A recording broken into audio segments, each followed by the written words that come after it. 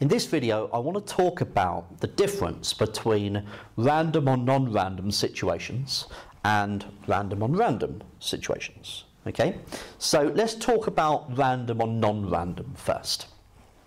So, um, essentially, in a lot of situations when you're drawing a scatter graph and you're working with them, uh, you have your independent variable along the horizontal axis.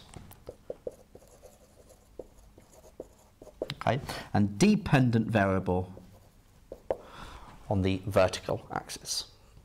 Now the independent variable uh, for this may well be a control variable, okay?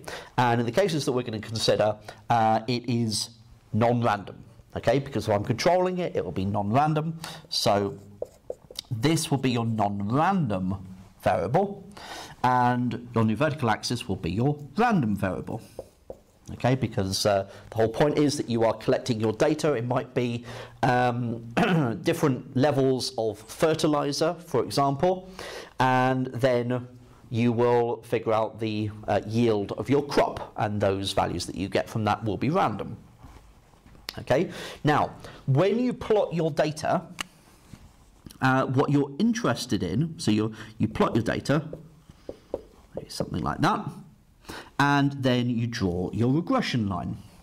Okay, now the regression line that you are interested in here is looking at the y values that you are getting. So you're only interested in the regression line that is y on x.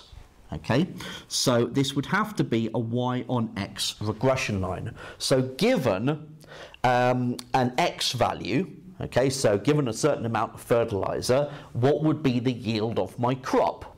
So you would go from your x-axis, your non-random variable, go up here, and then you'd be able to predict your uh, yield of the crop.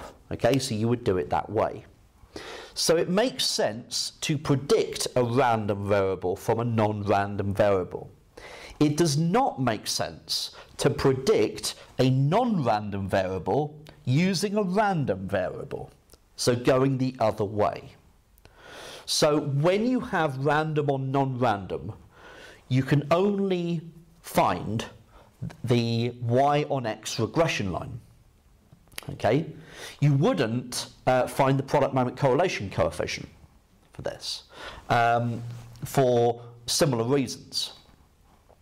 Okay, so um, because of one of the variables being non-random. Okay. When it's random on random, however, so this could be uh, looking at um, weight versus height, for example. So random on random. It may well be that when we talk about independent and dependent, um, it's not obvious as to which one is the independent variable, which one's the dependent variable. Um, it might be that we don't think either of them uh, depends on the other. Um, and because they're coming from random data sets, um, and we're looking for bivariate normal as well, you kind of get that oval shape, okay, that elliptical shape. Okay, and consequently, when you're working with random on random, um, you can then look at minimizing the vertical distances, the squares of the vertical distances, or the squares of the horizontal distances. And so you get two possible regression lines, okay, both of which must go through x bar, y bar, of course. And if this is your uh, y on x, and this is your x on y, if you have an x value and you want to predict the y value, then you can go up to your line, your y on x line, and then find the corresponding y value. If, on the other hand, you have a y value and you want to predict the x value, you go to the x on y regression line and then read off your value that way.